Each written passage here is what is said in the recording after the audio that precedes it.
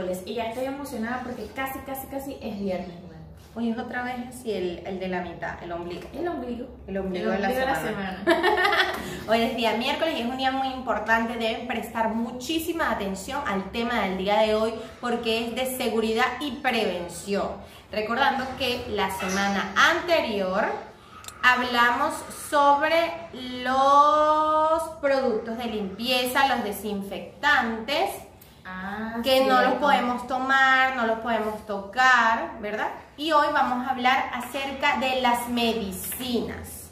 Las medicinas, madre. Pero si las medicinas son importantes, madre. Claro, madre, son importantes, pero los niños, ¿verdad? No deben tocarlas ni ingerirlas sin supervisión y sin autorización de un adulto, madre. Cierto, cierto, porque así como nos ayudan a mejorar nuestro organismo, también son muy peligrosas para él, porque si tomamos muchas pastillas o algo que sea muy fuerte para nosotros, eso nos haría muchísimo O algo que no debemos tomar. O algo que no debemos tomarnos. Así que por nada del mundo toquemos las pastillas que tenga mamá o papá en la mesa. Eso sí, debemos tomarnos las medicinas que mamá y papá nos dan. Esas sí no las tenemos que tomar. Pero solo si mamá y papá no las dan. las dan. No podemos estar tocando nada de eso porque de verdad, así como es bueno, también puede ser muy dañino y entonces puede ocasionar algún accidente grave. Bueno, mamá, yo tengo aquí unas pastillas para mostrar a los niños un ejemplo acerca de cómo son, para que sepan que no debemos de tocarlas ni jugar con ellas. Aquí, esto donde viene la pastilla, se llama blister y vienen en otros tamaños, en otras presentaciones. Hay pastillas grandes y pequeñas, por ejemplo yo tengo otras aquí y de colores. Y por lo menos esta es rosada, de fucsia. Y aunque se vea muy bonita y parece un caramelo, no, es caramelo, no debemos comérnosla, no debemos no debemos tocarlas porque son de mamá, de papá, de un adulto, de la abuela, de la abuela de alguien. Y nosotros como somos los niños estamos pequeños no debemos tocarlas ni ingerirlas. No y que es muy importante acotar que así como no nos podemos tragar las pastillas no podemos tragar ningún otro objeto como monedas metas nada que tampoco sea pequeño mae porque eso es muy peligroso. Sí. Entonces bueno mae vamos a trabajar con nuestra actividad del día de hoy. Y yo traje por aquí esta hojita prediseñada donde hay unas pastillas. Me gustaría decorarlas, Mae. Bueno, mami, yo te traje algo para decorarla. Te traje esto. Arroz. Te traje arroz, Mae. Tú no sabes que trabajar con arroz es muy divertido. Entonces, bueno, para nuestra actividad en este caso podemos decorarla con material que tengamos en casa, que deseemos, pero la madre y yo lo vamos a decorar y para esto vamos a necesitar arroz y pega. Y también, Mae, vamos a utilizar un pincel, ¿verdad? Y pintadedo.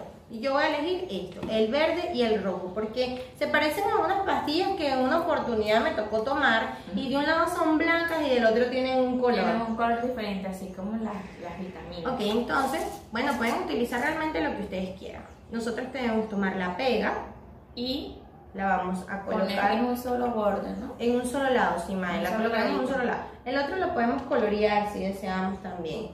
Después de colocar el arroz cuidadosamente y debemos esperar que se seque, nos va a quedar de la siguiente manera.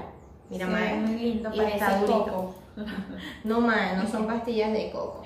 Y con el pintadedo podemos utilizar un pincel o nuestro dedo índice. Lo vamos a humedecer con pinta dedo, ¿verdad? Y con ayuda de mamá. Y vamos a cubrir el arroz de color mae. Y nos va a quedar de esta manera súper divertida. Miren qué lindo quedaron esas pastillas, me gustan mae.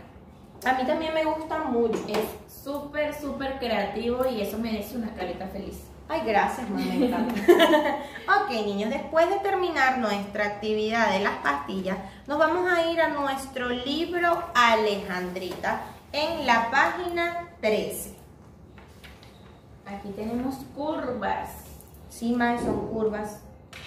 Y con nuestro lápiz de grafito vamos a continuar las líneas. Subo la montañita, bajo la montañita. Subo la montañita y vuelvo a bajar y así hasta llegar al final. pero creo que son dos. Sí, ¿no? mae, también nos toca la página 14. 14, que es una línea. Es una línea recta. Pero aquí es con mucho, mucho cuidado para no salirme de la línea. Tengo que sujetar con una mano el libro y con la otra voy siguiendo los puntitos. Y así hasta llegar al final de la línea. Ok, debemos hacerlo con muchísimo cuidado. Y si nos equivocamos, utilizamos el borrador y lo volvemos a intentar. Recuerden tener las manos bien limpiecitas y su área de trabajo en orden. Para que su tarea no se manche, no se ensucie y quede súper, súper linda. Y recuerden también enviarnos su evidencia para nosotros revisársela. Así que bueno, mae, nos despedimos. Esto ha sido todo por hoy. Chao.